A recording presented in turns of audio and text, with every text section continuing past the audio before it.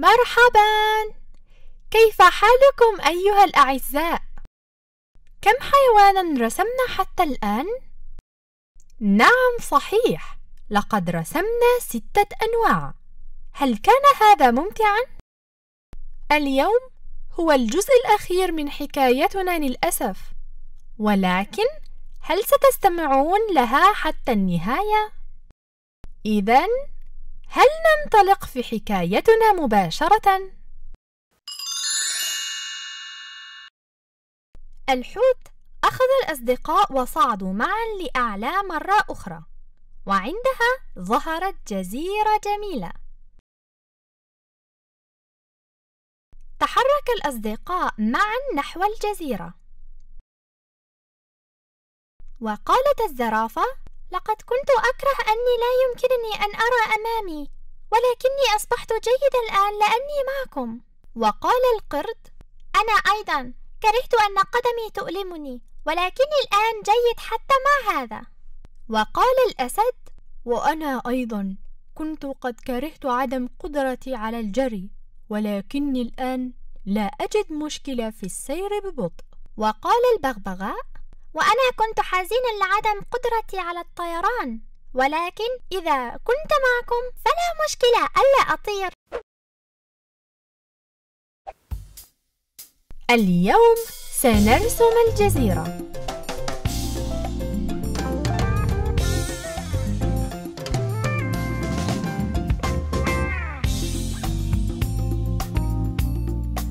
نرسمها هكذا بشكل متعرج خفيفاً.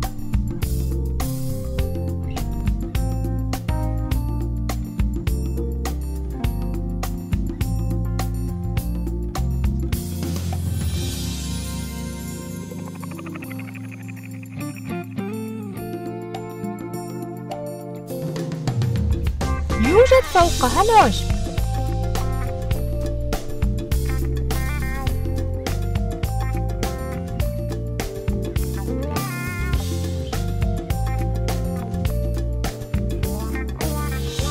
وبجوار الجزيرة نرسم موجات المياه. هنا كله مياه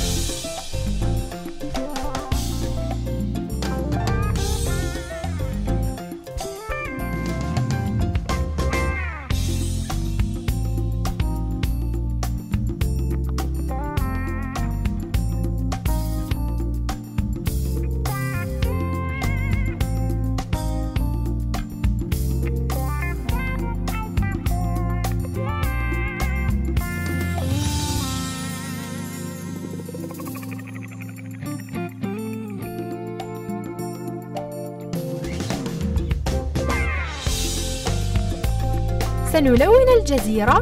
سيكون من الجيد التلوين بلون آخر.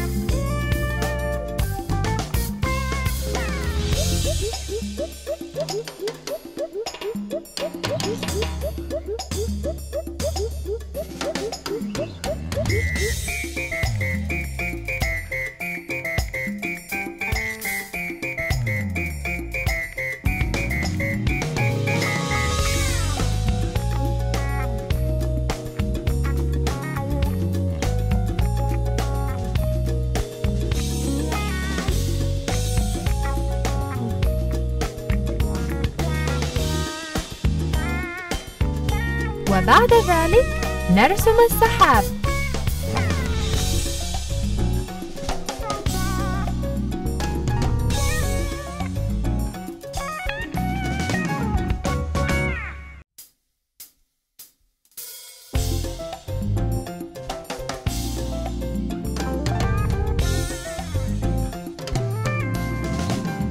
ونرسم جزيرة أخرى في الخلف أيضاً.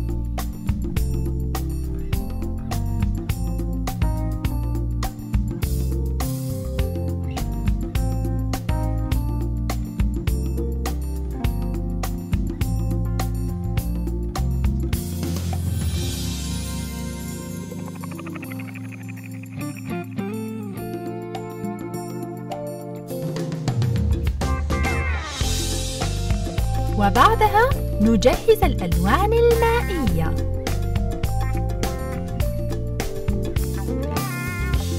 ونبلل الفرشاة بالماء.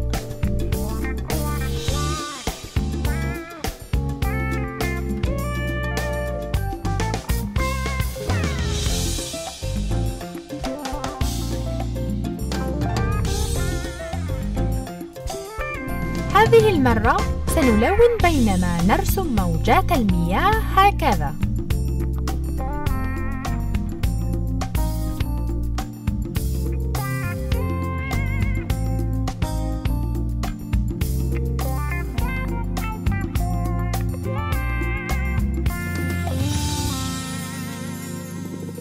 في المرة السابقة خلطنا اللون البنفسجي ولكن هذه المرة سنخلط اللون الأخضر المصفر.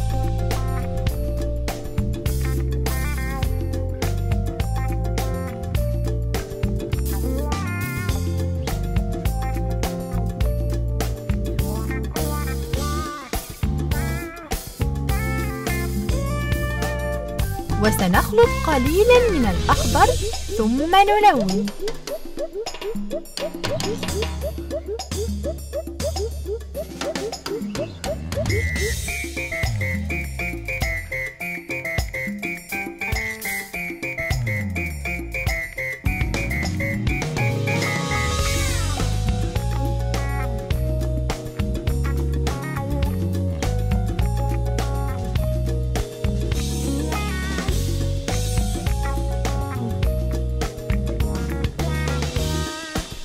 ونلون بالأزرق أيضاً.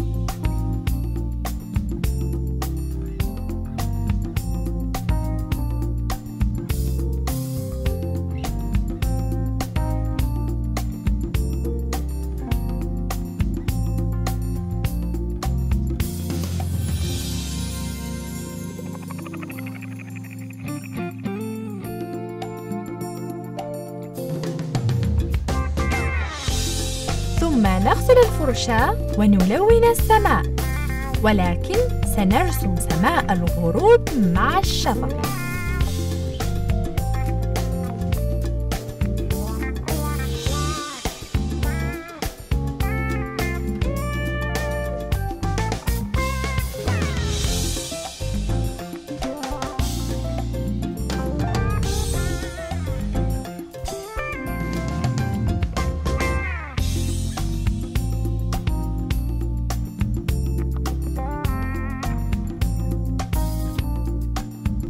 نمزج قليلا من اللون البنفسجي أيضاً.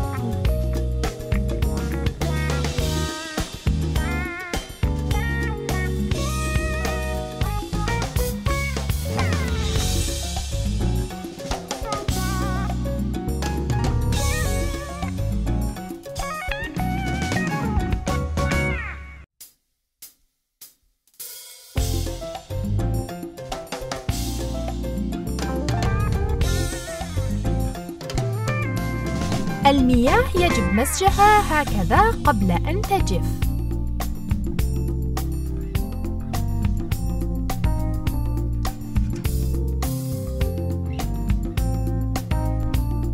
ثم نلون خفيفاً باللون الأصفر.